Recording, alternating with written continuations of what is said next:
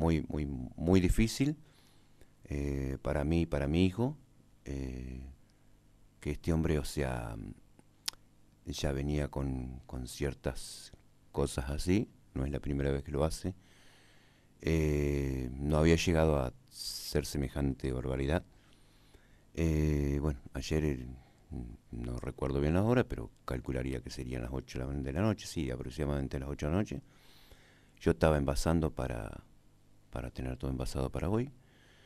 Y bueno, me manda un mensaje mi suegra diciendo que este hombre estaba tomando esa decisión. Este hombre ya tiene problemas eh, que yo creo que necesita un tratamiento psicológico.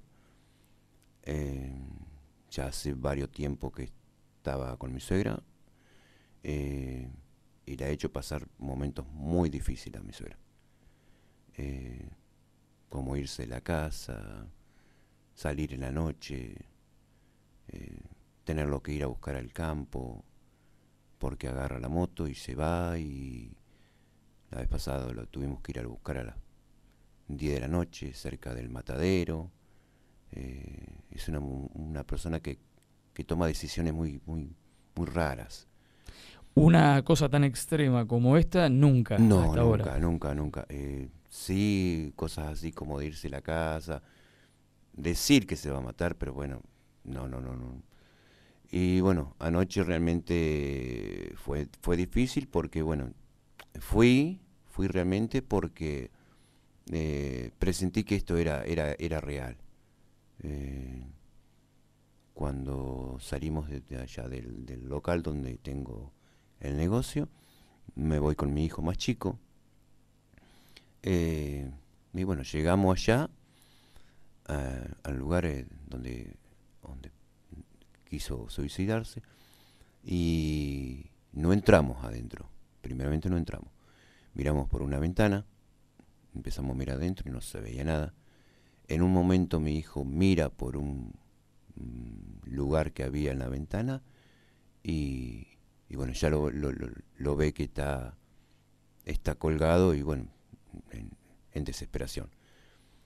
Eh, mi hijo pega la pata a la puerta, entramos, lo tratamos de soliviar y bueno, mi hijo lo trata de soliviar y yo salgo afuera pidiendo auxilio, socorro, que alguien me alcanzara algo para cortar la soga y bueno, salió una vecina pegada ahí al departamento, me alcanza la cuchilla eh, y cortamos la soga.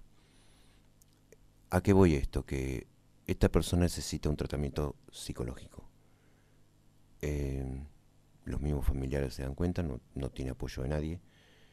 Eh, mi suegra está cansada, cansada, cansada de vivir esta vida de, con este hombre. le ha hecho pasar muy malos momentos, muy malos momentos, porque vos lo ves en la calle, es una excelente persona, pero con ella eh, le ha hecho pasar momentos muy difíciles.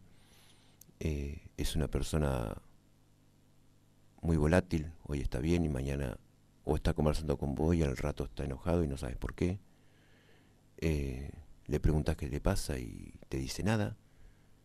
Hoy está recuperándose en este momento. Se está recuperando, está anoche terminamos con mi suegra aproximadamente a las 10 de la noche eh, y bueno, ya quedaba en salud mental eh, y bueno, va a ser un tratamiento largo porque con todas las decisiones que, que, tiene, que no sabes eh, en qué momento mi suegra realmente está pidiendo una ayuda que, lo traten, que lo traten, porque no lo podemos llevar así a la casa.